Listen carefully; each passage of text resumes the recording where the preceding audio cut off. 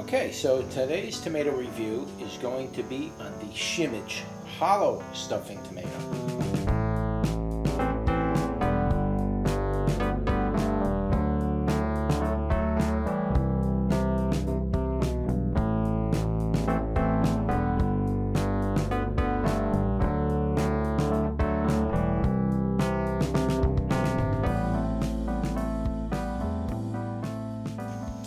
Okay, so let's take a closer look at the tomato. Let me zoom you out. And here's the inside of it. As you can see, this is a hollow tomato. And the seeds are not attached to the rind. That's just the nature of the tomato. It doesn't mean anything whether the tomato is heirloom or not going to taste good or anything. That is just the nature of this tomato.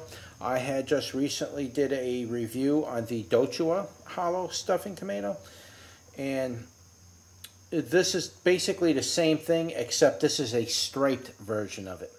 As you can see, it's, it's very striped. Let me turn up the lighting. That's what it looks like.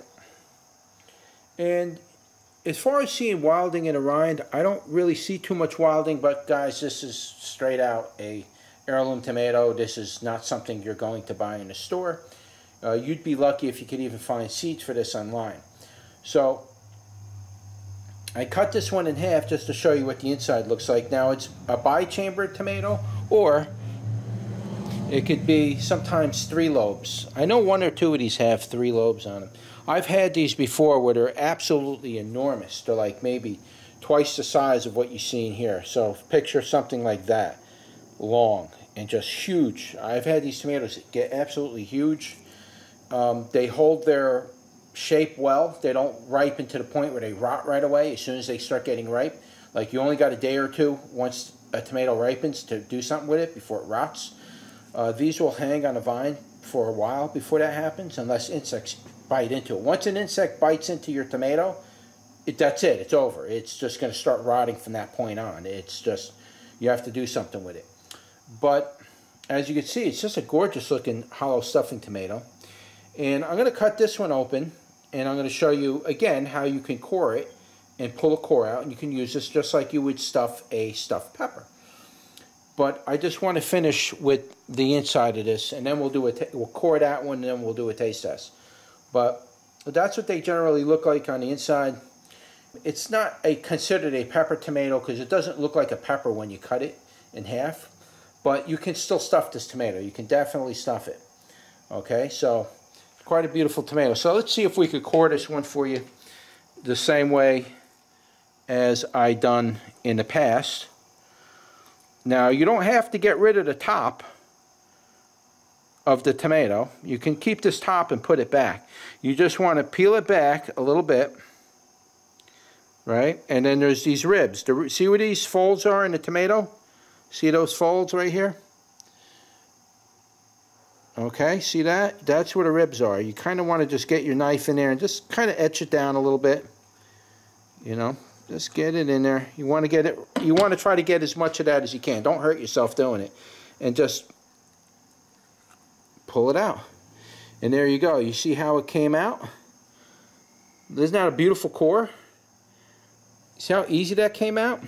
And then you could cut that core off if you want. Stuff this full of meat and, and whatever, seafood if you like and then just put the core back on top and serve it that way and you could cook it in the stove or you could do like I said in my other video where you can just stuff it with meat you can make it high you can put chili chili and beans in there and put a couple of tortilla chips in that or you put sour cream and you know put your your like a taco mix in here fill it up with a nice thick taco mix and uh, mix some beans with that. You don't want to just have the taco by itself, but mix some beans, put some tortilla, tortilla chips, some little sour cream on that, some cheddar cheese, sprinkle it up.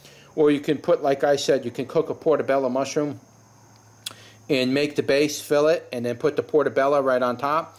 Um, I don't know how many people have ever had portobello mushrooms, but as you can see though on the inside of this thing, see how hollow that is? That's a great stuffing tomato right there. Beautiful. That's that is made to stuff.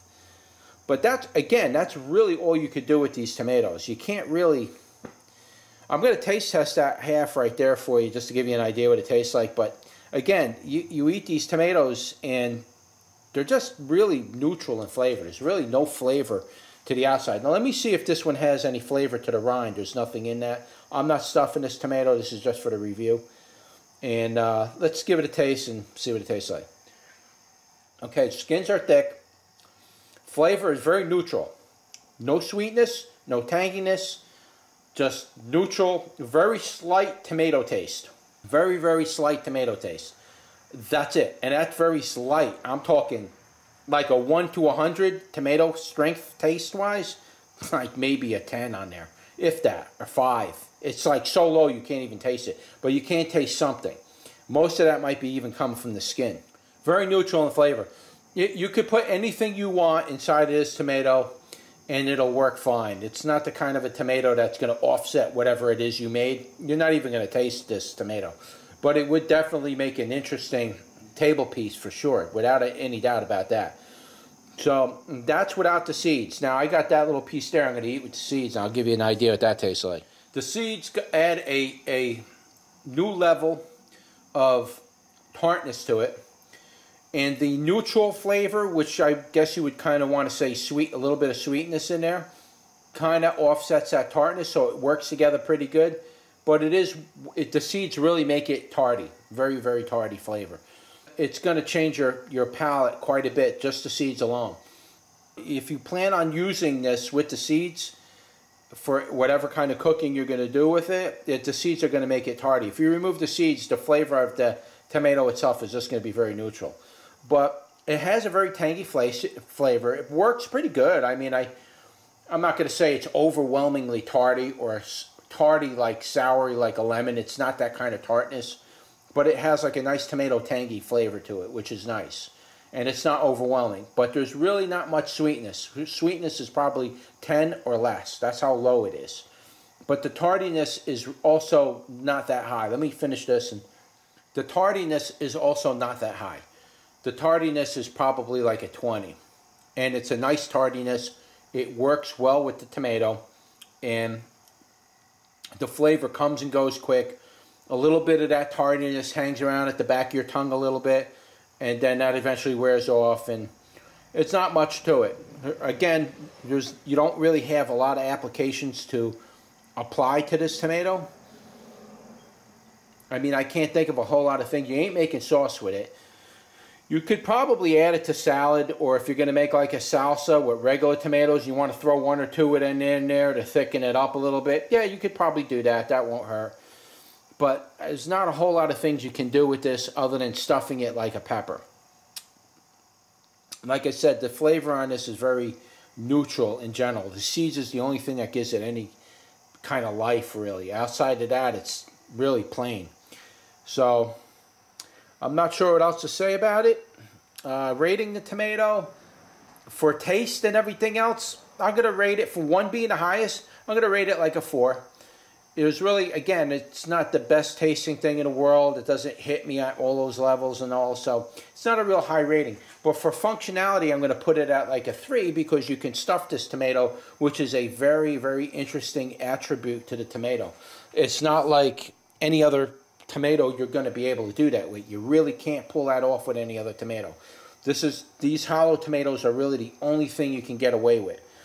All right so I'm going to kind of give it a dual rating there and say for, for uh, usage wise and versatility of the tomato, this is going to rate like a number three, one being the highest, and then four for the taste and, and just texture and everything, and, and that's about it. Outside of that, I really can't elaborate too much more on this tomato, but it's still a beautiful tomato. You can put these in a basket on your table and let your guests look at it and just let them kind of wonder like what is that? And you could throw it in like cut it into you know quarter pieces and stick that in the salad maybe. You know if you're serving a salad too you know you can add this to the salad. It's not going to make the salad taste bad. It's just it's going to be kind of flavorless number one. And number two it's going to have thicker skins on it, which kind of, I don't really care for that. Though I will say, even with the thicker skins,